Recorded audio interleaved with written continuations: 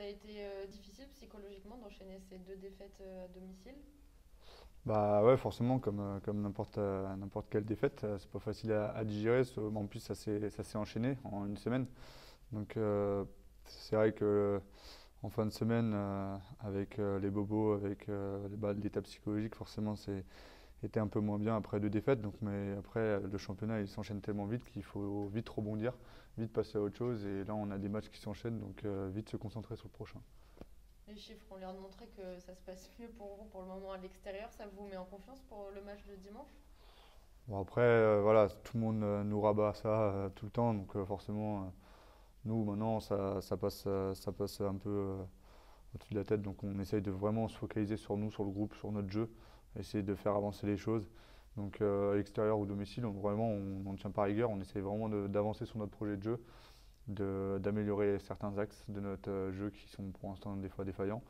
Donc euh, voilà, c'est pas, c'est pas, on, on- se focalise vraiment pas sur le lieu du match, mais plutôt sur notre projet de jeu, notre, bah, notre jeu en général. Est-ce que vous arrivez à vous, l'expliquer que, que, que dans votre phare, est-ce que c'est il n'y a pas de public, je sais pas, euh, qui, que quand même vous soyez en difficulté, alors qu'à l'extérieur, euh, vous semblez libéré ou en tout cas euh, beaucoup plus solide et vous prenez tout de suite le score notamment?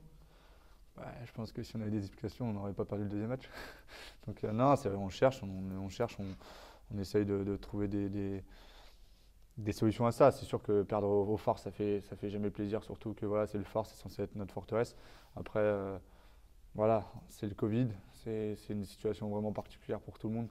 Euh, on n'a pas l'habitude de jouer à huis clos et là, ça commence à s'éterniser un peu, donc c'est vraiment, vraiment bizarre comme, euh, sensation. Euh, Je pense que voilà, des fois, dans des moments difficiles, le public a son rôle à jouer. Mais bon, voilà, on ne cherche pas d'excuses. Voilà, c'est à nous de régler ces problèmes-là et ça va passer par le jeu et notre état d'esprit. Après, je pense pas qu'on triche, on n'est pas des tricheurs dans notre groupe, on joue, on met de l'implication physique. Après, voilà, ça se joue sur des détails de hand. C'est pour ça que je vous dis avant qu'on essaie vraiment de se concentrer sur nous et sur notre projet de jeu. Mercredi dernier, euh, contre, justement contre Chartres, c'était déjà euh, votre adversaire.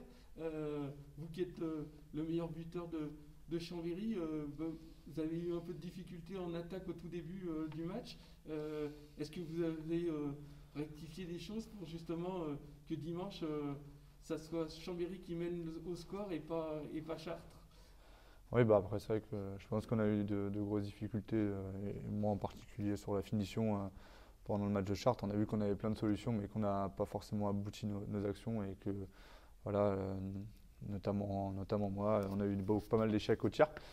Euh, ça n'a pas aidé au niveau de la confiance. Donc, oui, bah, après, on travaille tous les jours pour ça, on essaye de rebondir, de passer, de passer à autre chose et d'essayer de se focus sur les matchs prochains. Là, c'est vrai qu'on rejoue la même équipe très vite.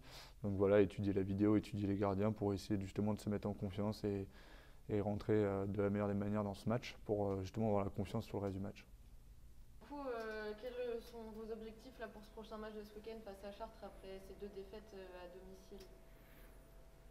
La réponse paraît assez, assez évidente, assez claire. On a un objectif de, de gagner. hein. On est des compétiteurs et, et notre objectif est, toujours de, gagner, Euh, même si euh, certaines critiques laissent à penser que ce n'est pas le cas. Euh, notre envie elle est toujours là. Et, en tout cas, ce qu'on fait au quotidien et l'investissement qu'il y a au quotidien de la part des joueurs n'est absolument pas à, remettre en question. Bien au contraire, je pense que ils s'investissent très bien au quotidien. On est, très frustré de, de nos deux défaites, même si les- nos deux adversaires ont plutôt euh, crânement joué leur chance et ont plutôt bien joué euh, con- contre nous sur ces matchs-là. On ne se contente pas de ça, bien évidemment. Euh, et on, on a à cœur de, de, de vouloir aller gagner euh, ce match à Chartres. Il semblerait en plus que bah, les matchs à l'extérieur pour le moment vous réussissent mieux, en tout cas cette saison. Ouais, en tout cas, les, les- les chiffres sont là, c'est c'est sûr. Donc, euh, euh, visiblement, c'est écrit dans le marbre que quand on jouait ici, on perdait. Donc, j'espère que c'est écrit aussi dans le marbre que quand on va à l'extérieur, on gagne. Euh, mais, euh, mais bon, ça, moi, je, que je me répète là-dessus, je ne porte pas trop d'intérêt à, ces stats-là. Euh, ce qui m'intéresse, c'est la progression de mon groupe et, d'essayer de, trouver les, bons leviers pour, euh, les faire gagner euh, à chaque rencontre. Donc là, on a plutôt, plutôt bien travaillé ces jours-ci. avoir la concrétisation sur le, sur le terrain et, et à la limite qu'on joue mal, ça c'est pas un problème. Si on peut remporter la victoire, ça me suffira. Vous êtes à 10 points du top 3, vous pensez que c'est atteignable? Euh, alors, les, points euh, restent relatifs au, nombre de matchs joués des uns et des autres. Après, le top 3 n'a jamais été notre objectif. Euh, notre objectif a été européen, ce qui est déjà un objectif en soi ambitieux au vu de, notre budget, au vu, des moyens qu'on y met. Mais on est à Chambéry, on a une culture, on a une culture de, l'Europe. Euh, et, on a forcément comme ambition de, vouloir y aller. Euh, j'ai signé ici pour ça, les joueurs ont signé aussi pour ça. Euh, donc notre ambition, c'est d'atteindre les places européennes, donc plutôt le top 5 que le top 3. J'allais dire, Chartres, ben, ils sont venus il y a peu de temps, il y a une semaine. Qu'est-ce qui peut changer, à part le fait qu'effectivement, on a presque l'impression qu'on est plus confiant quand, quand vous jouez à l'extérieur? Euh, du coup, c'est quoi la question? Bah, C'est de savoir si, euh, quels sont les leviers pour aller gagner à Chartres euh, par rapport au, match d'il y a une semaine?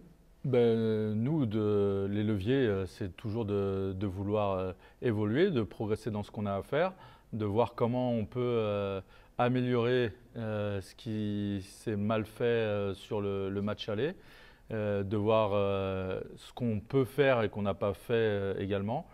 Mais de la même façon, de, entre ce qu'ils ont fait contre nous et ce qu'ils savent faire, de voir ce qu'ils, peuvent encore faire aussi. Donc on a, étudié bien, entendu tout ça. Euh, mais euh, comme je l'ai dit euh, tout à l'heure, nous, nous au quotidien, l'investissement, il n'est pas à remettre en, question. on s'implique toujours autant.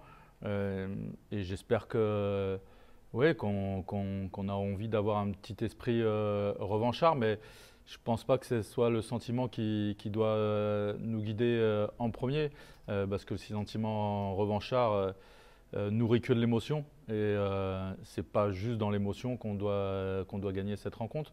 Euh, on doit affiner nos, performances individuelles. On a été défaillant dans ce domaine-là au, match aller. Euh, on doit aussi continuer à pouvoir leur poser des, problèmes tactiques.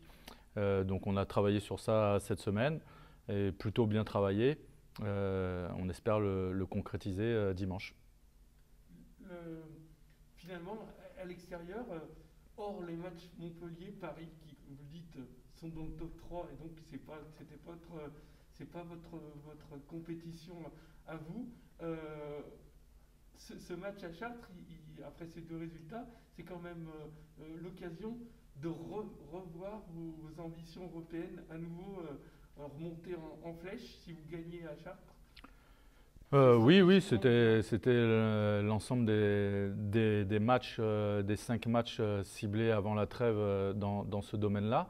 on peut dire que la série commence très mal, mais, mais vous savez, les équipes qui sont dans le top 5 actuellement ont, perdu contre Créteil, je pense à, Nîmes notamment. des faux pas, à part Paris, il y, a beaucoup d'équipes qui, en font. Euh, à nous de, savoir enrayer ça au plus vite et de de pas se mettre dans une spirale. Je pense que globalement, quand on voit l'état d'esprit au, quotidien, on n'a pas l'impression qu'on soit dans ce type de, spirale. Au, contraire, j'ai trouvé des, joueurs très investis et, et très dynamiques à l'idée d'attaquer euh, euh, cette nouvelle série qui s'offre à nous. Là, c'est pour nous de l'inédit, hein, de jouer deux matchs en, trois jours en déplacement. Euh, le championnat n'offre jamais ça normalement. D'ailleurs, c'est normalement pas autorisé par les règlements. Et c'est la, période Covid qui, permet, ça. Euh, donc voilà, on a un beau challenge qui s'offre à nous et, on a envie de mordre dedans. Je vais vous dire, euh, justement, cet enchaînement-là, vous l'avez déjà vécu, Dunkerque, et enchaîné tout de suite derrière, vous avez gagné à Limoges. C'est justement, ça, vous donne un une source d'espoir justement de, voir que vous avez pu enchaîner ces deux matchs avec deux bons résultats Ouais, on, se fie très peu, nous, à ce, genre d'expérience-là. Euh, je vous dis, moi, ces stats-là, euh, domicile, on gagne moins qu'à l'extérieur, etc. Ça me passe vraiment, vraiment au-dessus de la tête. Euh, c'est pas parce qu'on a déjà fait Dunkerque, Limoges euh, avec de la réussite que, que, forcément la copie euh, se, reproduit. Euh, à chaque match, sa nouvelle histoire. et, moi, je suis là pour faire progresser les joueurs individuellement et collectivement. Euh, je ne suis pas là pour leur dire qu'en 1914, euh, on avait fait deux matchs à l'extérieur et on les a gagnés, donc on va gagner. C'est vraiment un, contexte qui ne m'intéresse pas. Euh, dernière petite question, au niveau de, de l'effectif, on a vu qu'Edo s'est blessé. Il y a, d'autres bobos, il y a, y des rentrées, je sais pas. Ouais, bobo c'est le terme, c'est le terme bien choisi. Euh, on cumule les bobos et les incertitudes pour, euh, pour, pour dimanche au niveau des, des, blessés. Donc on a Kedo, lui c'est pas une incertitude, hein, il s'est fait opérer hier, euh, donc il sera pas là, c'est acté. Euh, on a Barbascas et, et, et, Yozu qui ne se sont pas entraînés aujourd'hui, donc ils sont diminués, on ne sait pas s'ils seront aptes ou pas pour ce week-end. Et on a Léonal qui s'est fait une entorse de, la cheville euh, aujourd'hui à l'entraînement. Euh, donc là, pareil, on attend, de voir l'étendue des dégâts concernant sa cheville. Euh, donc voilà, on a pas mal d'incertitudes. Euh, trois joueurs en, en, tout sur cette semaine en, en, moins. quatre avec Kedo. Sans oublier Antoine Tissot qui, est toujours absent. On a tendance à l'oublier parce que ça fait quatre mois. Mais il, manque toujours dans notre groupe. Et du coup, c'est l'occasion juste, alors, le problème, c'est que Léonard, il fait partie de ces jeunes que vous pouvez euh, que vous emmenez avec vous hein, sur la route, puisque la, la N1 ne joue pas, et, mais, mais, vous pouvez incorporer, vous, vous, justement, vous allez vous appuyer un peu sur, sur, leur jeunesse, leur fraîcheur, je sais pas, je pose la question. Ouais, il y a encore l'entraînement de demain euh, matin, là on part pas tout de suite, hein, on a encore un entraînement demain pour essayer de, voir où on en est sur, euh, sur l'état des bobos, justement, si on euh, peut en récupérer un ou deux de, ceux-là et de voir ce que ça donne aussi avec les autres. Donc il y a, encore un entraînement pour affiner tout ça. Aujourd'hui, euh, chaque jour a un peu suffi sa peine, donc je ne vais pas me lancer dans, des pronostics. Euh, on va attendre demain, voir si on récupère des joueurs complètement ou partiellement ou pas du tout, et s'il est raisonnable ou pas raisonnable de, les emmener. Euh, sachant qu'on ne revient pas par la case départ entre les, entre les deux matchs. Donc euh, peut-être qu'on les emmènera pour, euh, une perspective du deuxième match et pas du premier match. Ça sera aussi à gérer comme ça.